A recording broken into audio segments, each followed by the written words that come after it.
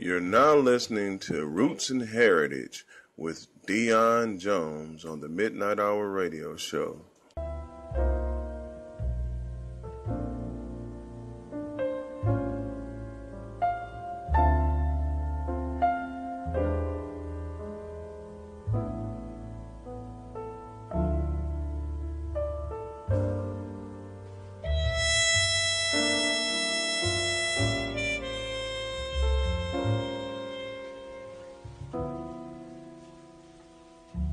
Good evening, good evening, good evening. Wow. I want to cover Cassius Clay, but there is just so much to cover. So I'm going to do a brief history and a brief segment on Cassius Clay. And every time I hear his name, I kind of get tickled and go back to the scene from barbershop and coming to America with the whole conversation about him changing his name to Muhammad Ali versus Cassius Clay. But he was born Cassius Marcellus Clay Jr. in Kentucky in 1942.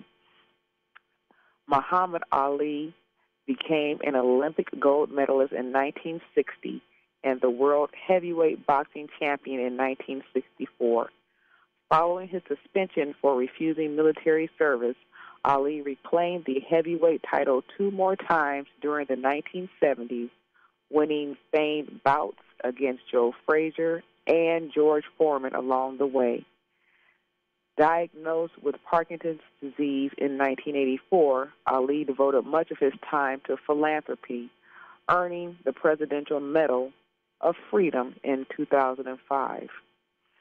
So I'm just going to cover a little bit about his early life and how he got started because it's just such a great career, and just too much to cover in our time.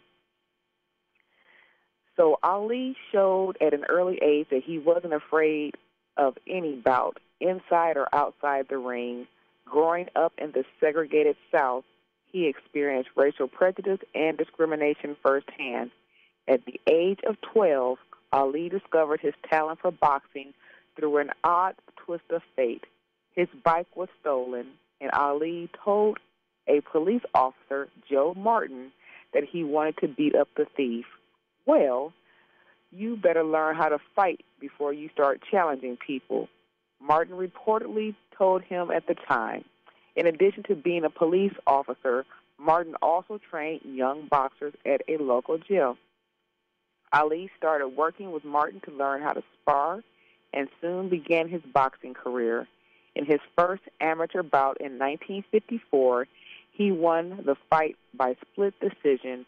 Ali went on to win the 1956 Golden Gloves tournament for novices in the light heavyweight class. Three years later, he won the National Golden Gloves Tournament of Champions, as well as the Amateur Athletic Union's national title for the light heavyweight decision. This led to his 1960 win and spot on the Olympic boxing team, where he traveled to Rome, Italy to compete. At 6'3, Ali was an imposing figure in the ring, but he also became known for his lightning speed and fancy footwork. After winning his first three bouts in Poland, he won the lightweight gold medal.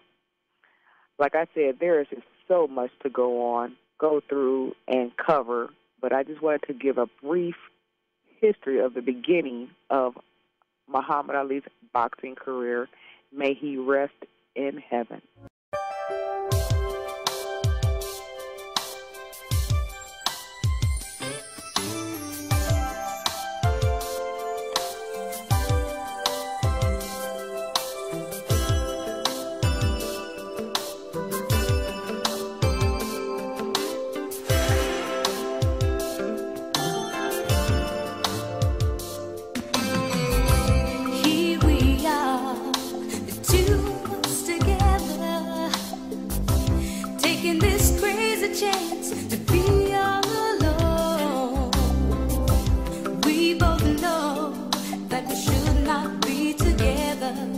If we find